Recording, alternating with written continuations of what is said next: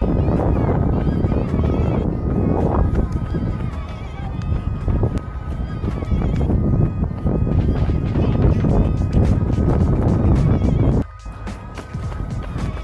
grateful for this view, my mindset, my mentality, my healthy body, and uh, wearing my Strive for Stride jersey today in support of my, uh, my friend Tommy.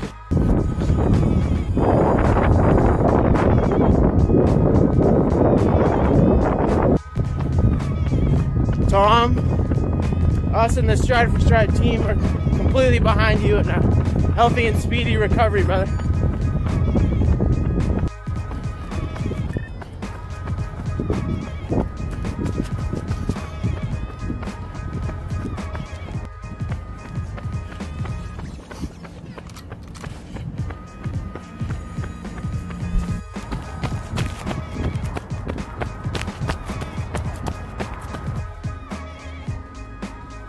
There we go.